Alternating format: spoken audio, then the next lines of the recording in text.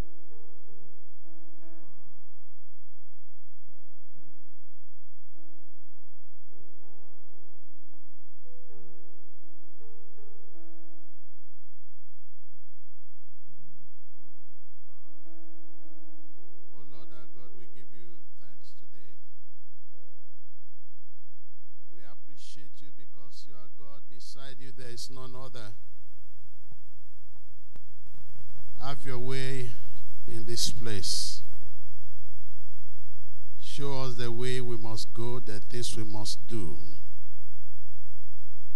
We do not only want to serve you here on earth, we want to dwell with you in heaven. So, God, my Father,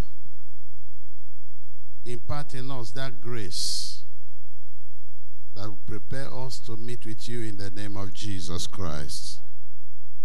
Speak through me and bless your children. In Jesus' name I pray.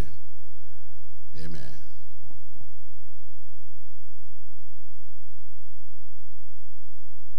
God is helping us these days that from different parts of the world, people follow our service. As I'm talking with you now, there are brethren in Togo that are following this service. And in different parts like that. The good thing is that they also share comments of how they felt with what they had. My prayer is that God will help. That on that day when we get to heaven, while we here we know one another, there will be some other people that will come to us and say, You may not have met me before, you have been a blessing to me. May God help us to make it to the end in Jesus' name. This morning I want to share with you from First John chapter 2 in verse 28. First John chapter 2 in verse 28. At this time, John the beloved apostle was becoming very old. And he gave this word to encourage the church, the believers. In 1 John 2, in verse 28, he says, And now, little children, abide in him, that when he shall appear, we may have confidence and not be ashamed before him at his coming. Today is 28th of February, which means February is over today. The new year is going, and your age is on the move. The coming of the Lord is very close. If there is any time the church should be reminded of the need to be prepared, it is now. Even the happenings around us, that the way people disappear is becoming alarming such that calls us to know that we should be prepared anything, anytime. And now little children abide in him, that when he shall appear, we shall have confidence and not be ashamed before him at his coming. Which means when Christ shall come, some will confidently come into his presence, while some others will have reasons to be ashamed. Why will they be ashamed? They'll be ashamed because they are disappointed. Ashamed because they have not lived befitting lives that can bring them or present them before the Lord. So he says that we should abide in him. Abide in him. If you ask me, what am I sharing with you this morning? I will tell you, do what? Abide in him. Abide in him. If you hope to make it to the end, abide in him. You want the glory of God to be seen in your life, abide in him. You want life to go well with you and the promises of God accomplished in your life. Abide in him. In John chapter 15, look at verse 4. John 15, in verse 4. Abide in me, and I in you. As the branch cannot bear fruit of itself except it abide in the vine, no more can ye except you abide in me.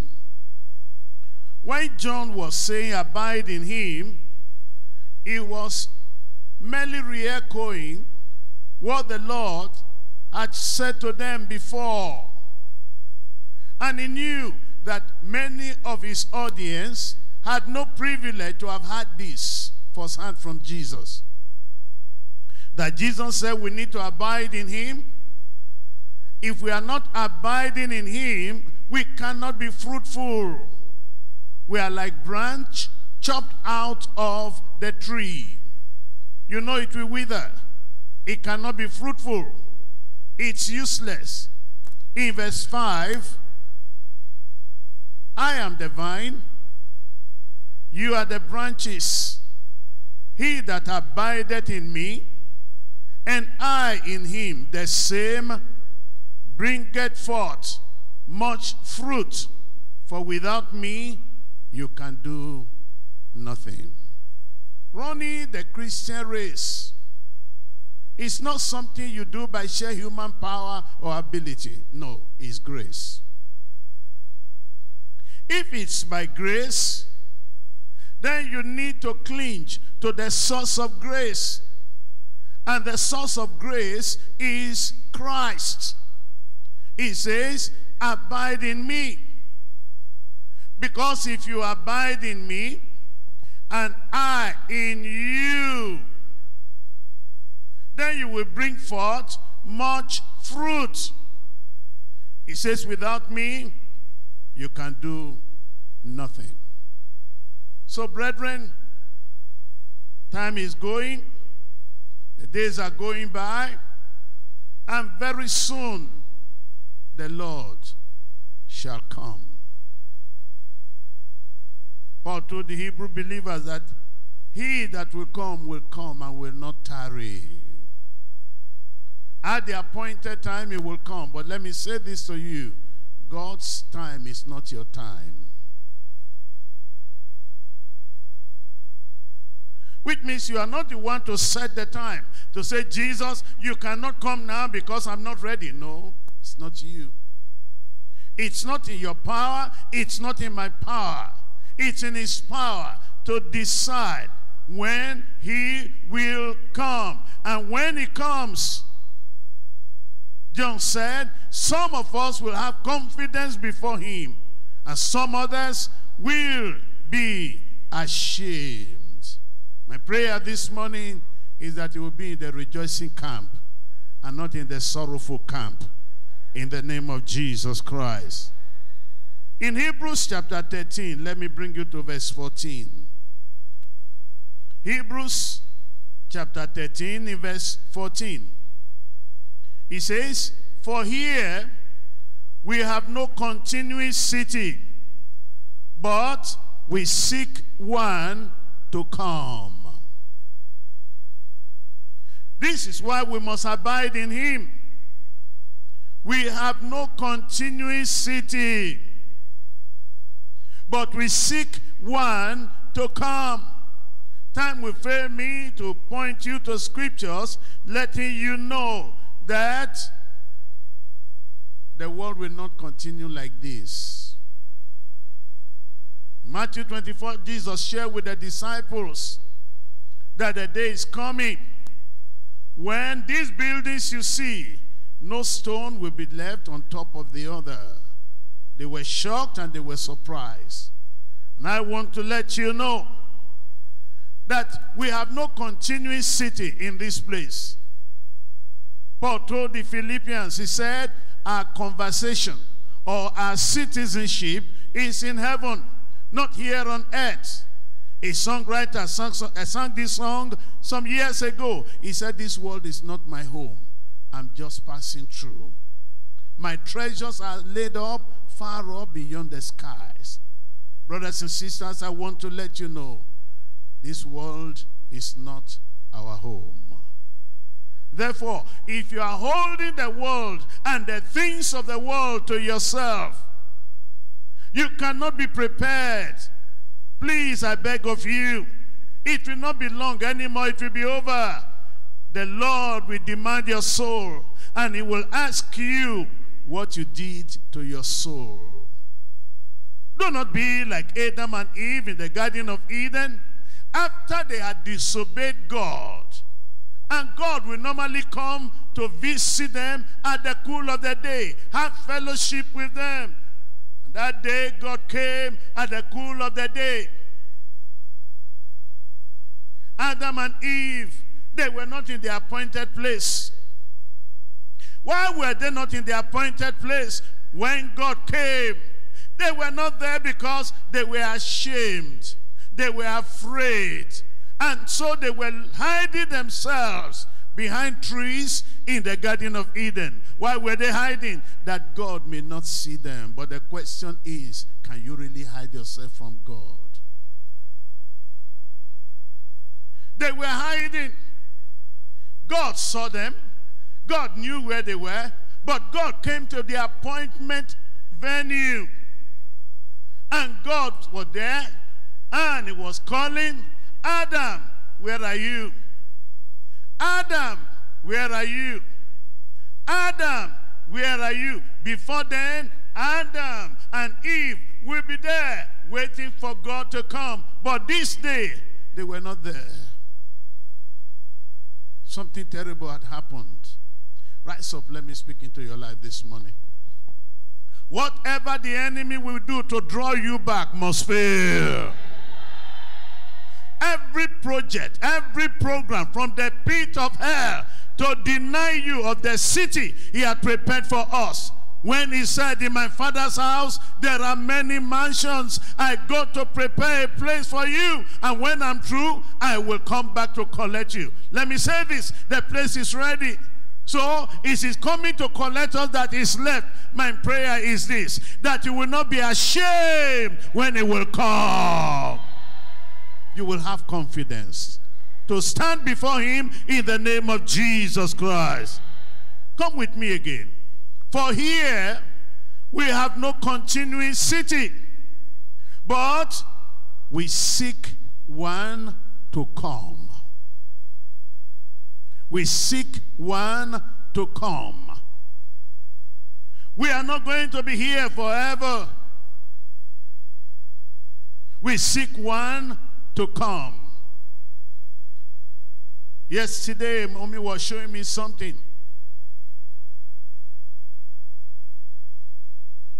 A man, everything he had in life made of gold. His house made of gold. His bed made of gold. His chair made of gold. His car made of gold. His private jet made of gold. Everything about him, gold. His drinking cup, gold. And it came to pass.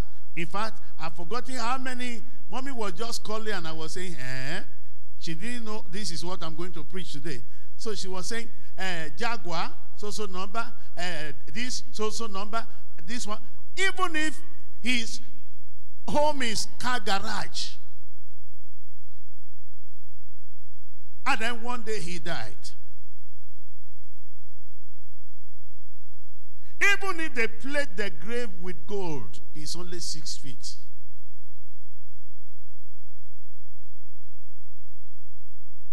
The only man that rides golden plane on earth.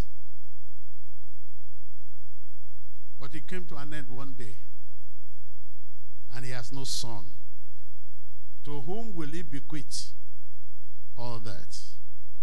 I'm saying this to let you know that we live in a transient world.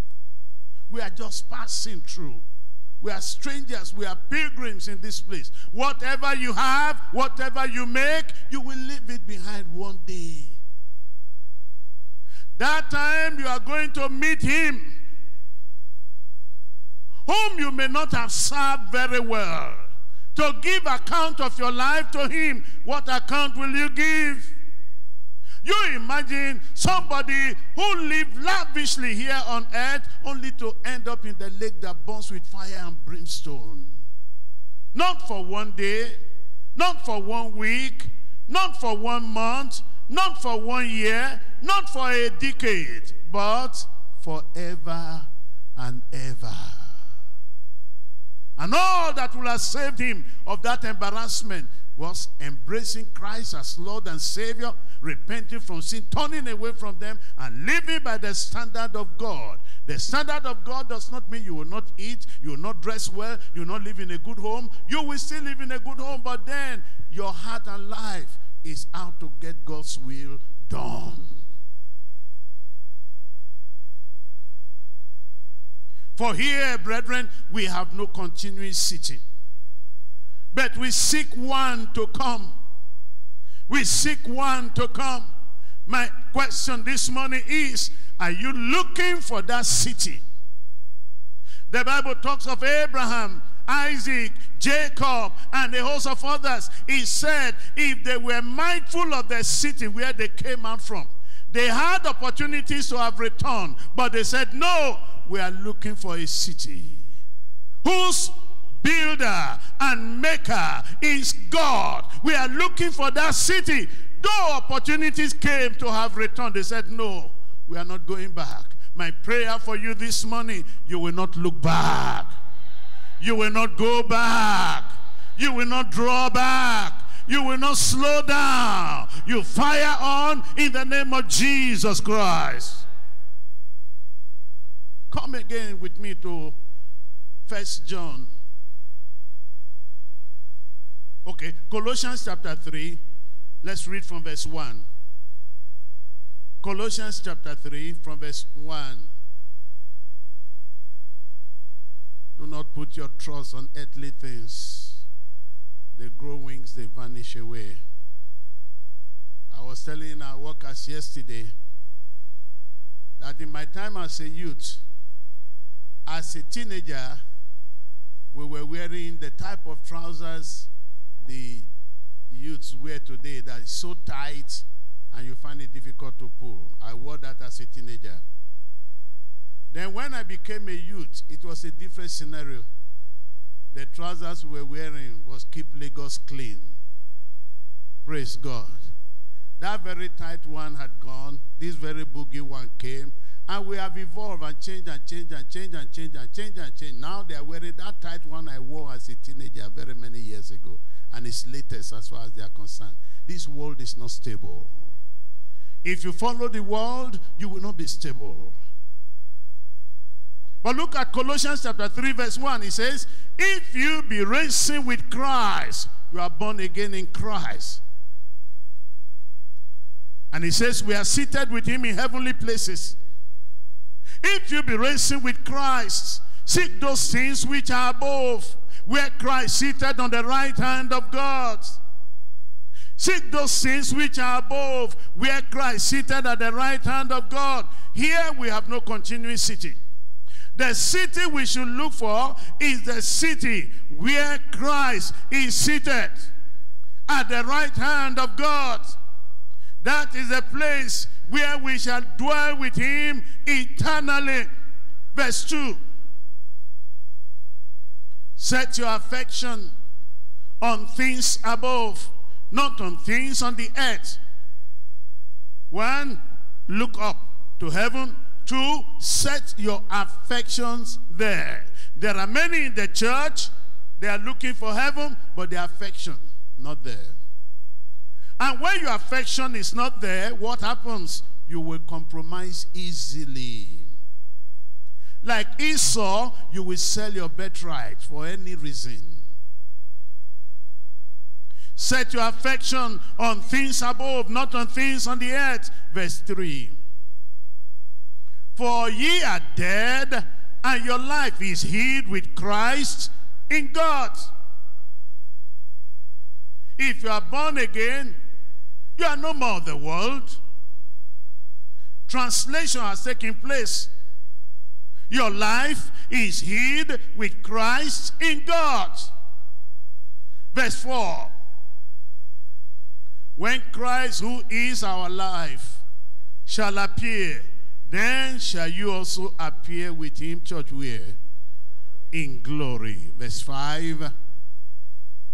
Mortify therefore your members which are upon the earth, fornication, uncleanness, inordinate affection, evil concupiscence, and covetousness, which is idolatry. Verse 6.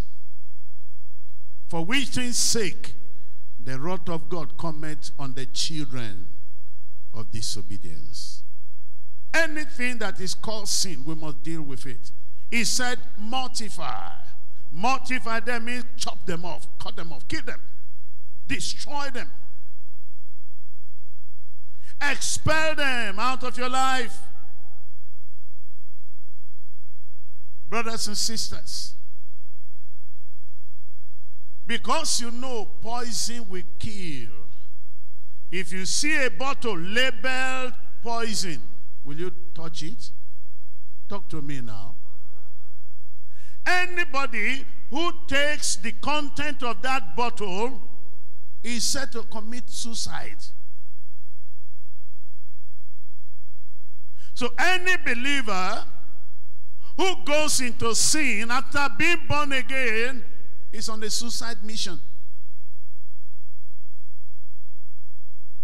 Now I want to appeal to you. Here we have no continuing city. This is not the final phase. There are still phases ahead. Be prepared and make a wise choice in the name of Jesus Christ. in First John chapter 2, verse 17. First John 2, 17. Sorry, please. 15, 15. 15 to 17.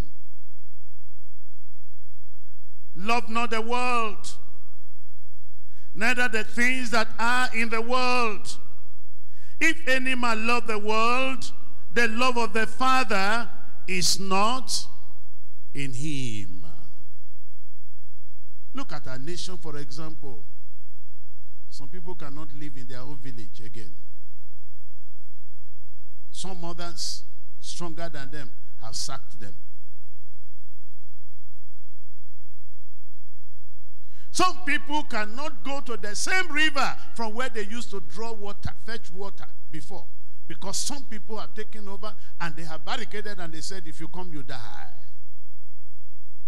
Is this the world you want to die for? Look at the security situation. That everybody live in fear, whether in the city or in the village. And you wonder why authorities have not arrested the situation. That's the world for you. Here we have no continuous city. We are looking for one to come.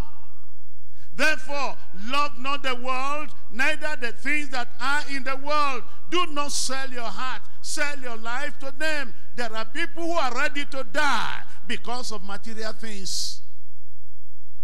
It's not necessary. We used to sing this song as young believers. I have decided to follow Jesus. I have decided to follow Jesus. I have decided to follow Jesus. No turning back. No turning back. That's not where I'm going. This other version.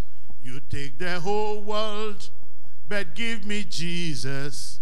You take the whole world, but give me Jesus. You take the whole world, but give me Jesus. I'm satisfied. I am satisfied. Are we still satisfied? Are we still satisfied? Or we look at others and we think they are enjoying and we cry, we weep, we are jealous. And then we charge God foolishly. God, look at so and so, look at so and so, look at so and so. And here I am serving you day and night. I go for night vigil, I go for that vigil, I go for this service, I go for that. And what have you done for me? You have not done anything.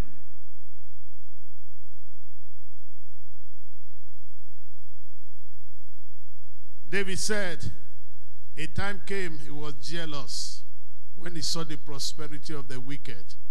He said his leg almost slipped until God opened his eyes to see the reward of the wicked. And when he saw the reward, ah, he came back in repentance. Love not the world, neither the things that are in the world. If any man love the world, the love of the Father is not in him. Verse 16. For all that is in the world, the lusts of the eye, of the flesh, the lusts of the eyes, and the pride of life is not of the Father, but is of where? The world. See, all that is in the world. The summary of all is lust of the flesh. The world live for the flesh. Lust of the eyes. The world go mad after what they can see. The pride of life. Let them say, I am the one. That that's all the summary. He says, it's not of the Father, it's of the world. Verse 17. And the world passeth away, and the lust thereof. But he that doeth the will of God, what did he say? Abideth forever. Abideth forever. Abideth forever. let me show you some few things that will help us. We have seen in Colossians we should deal with the flesh. Do not allow the flesh overcome you. Conquer it. Jesus said, if your right hand will cause you to sin, what did he say you should do? Cut it off. Conquer the flesh. If there is a friend in your life that has turned to a messenger of Satan, separate yourself. Separate yourself. If there is a business that is taking heaven from you, separate yourself. Separate yourself. Whatever opportunity, if it's not to the glory of God, please run for your life. The devil will not give you on one hand and allow you go free. As he's giving with one hand, he's taking from the other. If he gives you 10 naira, he will take a thousand from you. That's the way he operates. Nobody ever worked with him that ended well. And the world passed away, and the loss thereof. But he that doeth the will of God abideth forever. Hebrews 13 again, verse 14. Hebrews 13, verse 14. For here we have no continuing city, but we seek one to come. My question is, are you seeking for the coming kingdom? Hello? Are you seeking for the coming kingdom that Jesus is bringing to us? Are you seeking that place he has prepared where he said we'll dwell with him forever? Maybe you are living in Abuja squatting, but a mansion is prepared if you are born again. Never mind. Five minutes, eh, what is five minutes? A minute in heaven. You will not remember what you have gone through in this world. Is it persecution? Whatever, you will not remember again. Because the joy, the bliss of the kingdom, wonderful. Be prepared, please. Verse 15. Verse 15. By him, therefore, let us offer the sacrifice of praise to God. How? Continually. That is the fruit of our lips, giving thanks to his name. Brethren, he spoke of we offering sacrifice of praise to God. If you are seeking the kingdom, this you must do. Why must I do this? So that you stir up yourself and you set your heart on fire. You set your heart on fire. I've discovered that when your gas burners are on, no flies come around. But when the burners are not burning, that's when they come and they perch on your pot.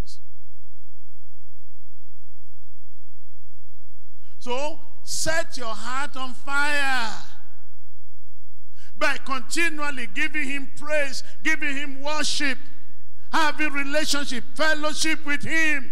And by doing that, his anointing rubs on you, his unction rubs on you, his presence wells up around you, and it becomes impossible for the enemy to penetrate. It's a sacrifice. Why is it a sacrifice? Many things will want to take that from you. The first day I read in Thessalonians, Paul said, In everything give thanks, for this is the will of God in Christ Jesus concerning you. I said, No. You cannot give thanks always. There are some times you are not happy. How can you thank God when you are not happy? But time and experience have taught me that we must learn to give thanks always. Set your heart on fire so that there is no room for the enemy to hang around. You are too hot for him to handle. Sacrifice that. And number two, verse 16. But to do good and to communicate, forget not, for with such sacrifices, God is, what do you see there? Well pleased. The first sacrifice is unto God. Give him praise. The second sacrifice and the third is to men. He said, do good, then do what again? Communicate. Do good, you can understand that very well. Communicate is talking about we helping people, wiping tears away from the faces of people, giving them hope in life that all is not lost, all is not gone. God has the best for us, and because you believe He has the best, take this little from me to do good and to communicate. He said, Forget not, for with such sacrifices, God is what? Well pleased.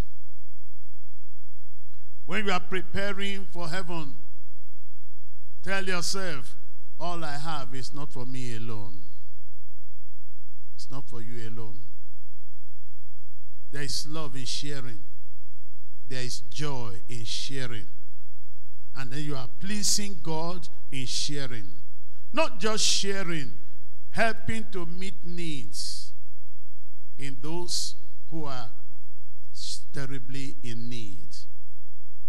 You are your brother's keeper. You are your sister's keeper. Help somebody to steadfastly continue on this race. Say to yourself, while I'm alive, while I'm available, I will not see a child of God draw back because of the needs of this life. He says, with such sacrifices, God is well pleased. Which means every time you do good, he records it.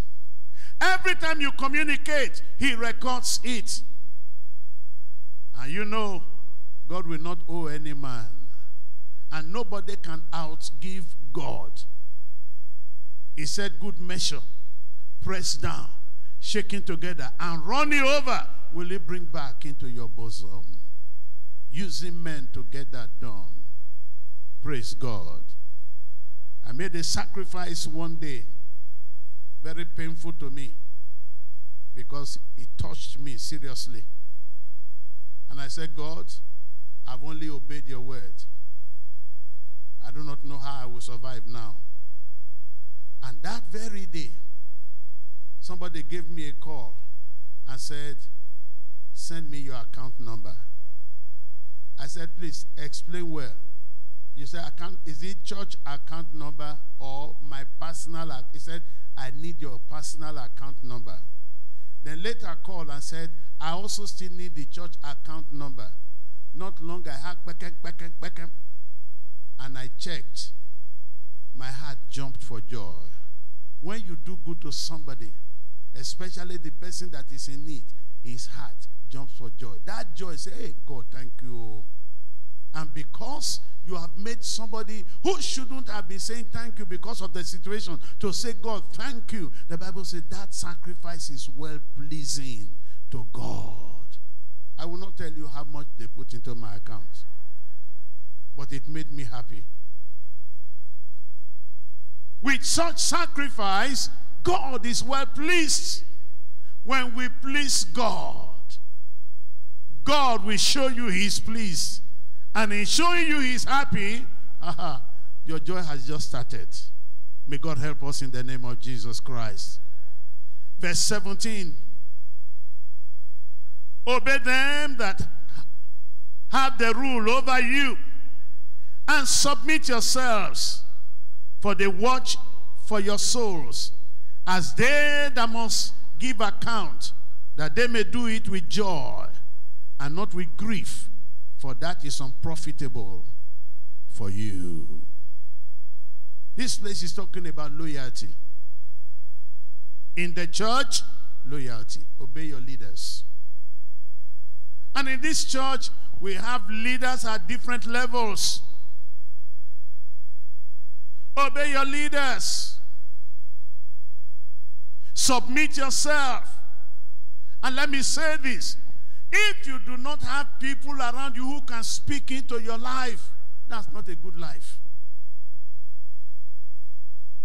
There must be people you respect. There must be people you honor. There must be people who you submit to, who can speak into your life so that when you are going astray, they can tell you, hey, come here. What is wrong with you? Praise God. I was on phone one day. I said, hello, sir. I'm all right, sir. Okay, sir. Yes, sir. And the person by my side, sir, daddy, you also say, sir. And I said, yes. Praise God. You are not there yet. Do not allow pride destroy you. Humble yourself. Learn to be meek.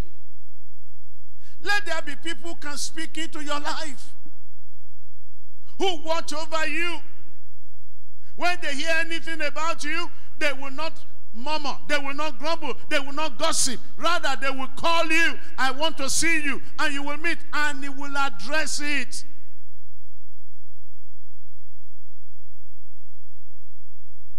If all the people around you are those who cannot speak into your life, you are the only one speaking into their lives, you are in trouble. Loyalty. In our groups, loyalty. God is watching everything we are doing. Even in your place of work, be loyal. I senior him, but he's your boss. The Bible says, give honor to whom what? Honor is due. I senior him. In our village, I am from the kingly house. He is from one kind house like that. Is it because they made him a guy here? And you are supposed to call him your excellency. And you get there, you say, Mr. Jude. You are in trouble. Loyal. Praise God. The Lord will help us. I didn't hear your amen. Put away pride, put away arrogance. And anything that will not help you to be your best, please lay it aside. In the church, support this work with prayers because we watch for your soul. And our desire is that you make heaven and when I call you and I say, this is what I saw or this is what I heard, I'm doing my work. You must submit. Especially when I show you what I'm doing from the scriptures. Come under authority and let's flow together. Let's serve this God. Let's benefit and enjoy Him. Let me round up with verse 20 and 21. Verse 20 and 21. Now the God of peace, rise up on your feet. Now the God of peace that brought again from the dead our Lord Jesus Christ, that great shepherd of the sheep, through the blood of the everlasting covenant. Verse 21. Make you perfect. Are you in church? You know why you didn't say amen? You are afraid of being perfect. If you are perfect, you will not take bribe again, and you like bribe. Hello? All those who are accustomed to kick back, kick there, kick there. Hmm. We are looking for another city. Another city. Not this one. Abuja is a beautiful city. But this is not the one. Therefore, hate what God hates. Make you perfect in every good work. To do his will. working in you that which is well pleasing in his sight. Through Jesus Christ, to whom be glory forever and ever. And the church shout it loud. Therefore, keep your hope alive. Stay connected to Christ. Be the best you are called to be. Make sure you finish well. Make sure you do what? You finish well. Tell yourself, I will finish well. A man was on the dying bed. A front frontliner. And then the brethren came around him and they said, Papa, you will soon go. And he said, Yes. And he shared some things with them. And they said, Sir, uh, why are you, how are you leaving us like this? He said, Let me tell you, the best that we can ever accomplish in life is that we are in Him. That's the best. I'm a president, I'm a director, I am this, I am that. The best in life is that we are in Him. And I want to say to you, abide in Him. That is the best that any man can ever accomplish in life. Abide in Him. My prayer for you is that no man will take your crown. Nobody will take your place in the name of Jesus Christ. If you have not given your life to Christ before, do so now. If you are still falling and rising, playing around with sin, tell him you are sorry. Settle down. We have no continuing city here. My prayer is that when the trumpet sound, all of us will go together. But the situation where some of us are gone and the rest of you still rush to church. Pastor never come, pastor no go come. Pastor don't go. Ah, uh, choir not full today, choir not go full again. Then you look at the elder son. Huh? I mean, they go meeting. What is going on? Then one bold man will come up and come and knock and try to push daddy's office. Say it's already after eight, sir. Service not go start. And you succeeded in pushing the door open, that is not there. What has happened? And before you know what, the news is flying all over that some people have disappeared. And then you are now, ah, ah, Pastor, preach it to that the day is coming, people will disappear. Is that what has happened? Oh, yes, it has happened. May you not be caught unawares.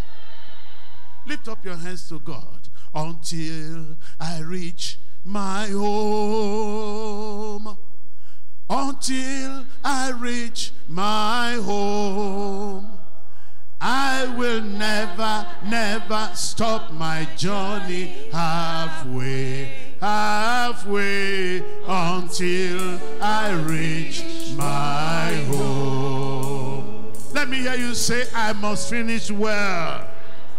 Oh God, I receive grace from you to run this race and finish well in the name of Jesus Christ. Make it your prayer.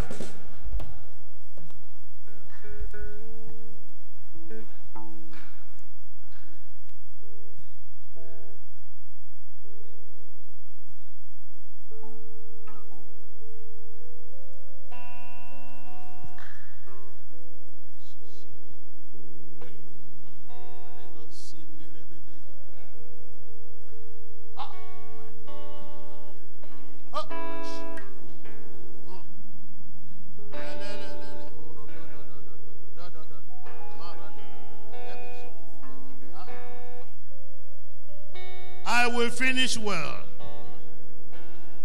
I will finish with Jesus. Nobody will take my place. Nobody will take my crown. I will not look back. I will not stop my journey halfway. I break away from any and everything struggling to draw me back. Break away. It's your responsibility to do. He will pour grace on you to get it done.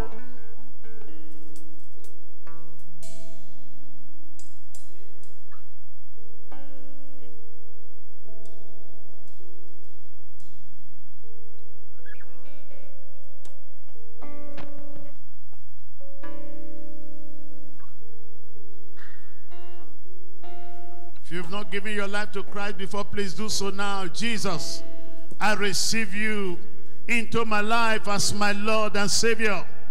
I am sorry I've been a sinner, but now I'm coming back to you. Have mercy. Forgive my sins. Receive me and make me a child of God from today. I promise you, I go back no more. Pray that prayer and believe God. Your life will not remain the same again. Everything will go well. His glory will surround you. Grace will be poured upon you. Favor will be your new name. Allow God have his way in your life. In Jesus' name we pray. Father, let these words go down well in every one of us. Let your purpose be accomplished. One thing we desire, Father, is that when all this is over, may none of us be missing from your presence in your kingdom in the name of Jesus Christ. What it takes to be there, we yield ourselves to you to fulfill in our lives. And help us, O God, never to corrupt our ways anymore, but to stay close to you and live to your praise and to your glory. Thank you, my Father. To you be the glory. I pray that there will be divine visitation to every one of us so that life is made better than ever before in the name of Jesus Christ. Thank you, my Father. In Jesus' name I pray. Amen.